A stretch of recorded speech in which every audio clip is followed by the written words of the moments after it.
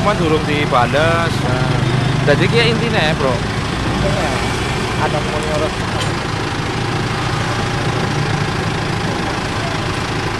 Saya tukar semua, ada ratusan, ratusan ribu, lima puluh ribu, dua puluh, sepuluh ribu, dua ribu dan seribuan sejumlah satu juta. Karena memang maksimalnya satu juta untuk hari ini. Jadi nggak bisa semuanya. Padahal saya sudah bawa 5 juta mau tukarkan semua, tapi ternyata cuma satu juta saja. Untuk apa ini Untuk koleksi saja pak, untuk koleksi ya.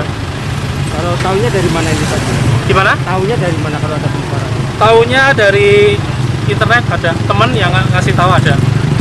sampai dengan mas apa mas Arman, Arwan Sebelumnya lewat itu online pendaftarannya. ya lewat online aplikasi dulu. Aplikasinya namanya apa? namanya pintar.bi.co.id Gimana mudah apa enggak? mudah sekali ya tinggal kita pilih berapa berapa berapa Namanya tunjukkan uangnya ya wis. Oke. Nah, di samping itu nggak cuma BI, kita ngajak perbankan. Iya eh, pengeluaran emisi baru 2022 itu kan didasari ini ya eh, tiga tiga hal yang pertama eh, dari aspek ketajaman desain. Dari desainnya itu jauh lebih bagus lebih tajam warna-warnanya keluar semua ya.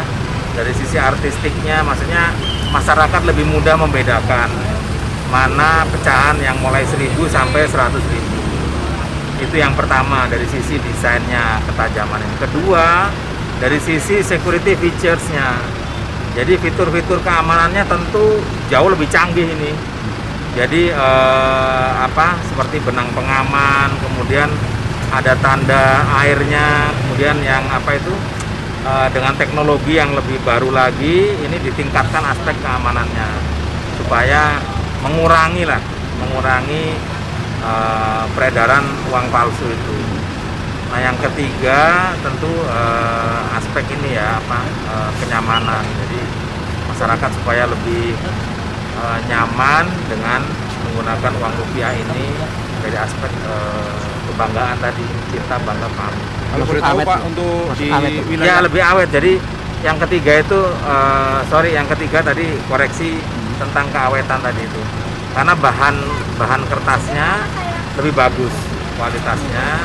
Ya, sehingga lebih umurnya itu umur usia edar uangnya diharapkan lebih panjang.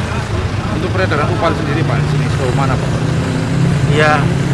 Kalau peredaran upalnya itu sampai tahun eh, nanti angkanya ada di situ ya Mas Oke. Joko tapi nanti kasih aja. Sekitar dari tahun 2010 sampai sekarang itu BI Tegal mencatat sekitar 64.000 kurang lebih ya 64.000 lembar kalau nggak salah. Nah itu cukup banyak kan berarti yang terjadi dan beberapa teman-teman sudah tahu kan waktu sudah terjadi apa eh, penangkapan itu terus ada ekspos dengan BI beberapa tempat kan sudah sudah pernah diliput.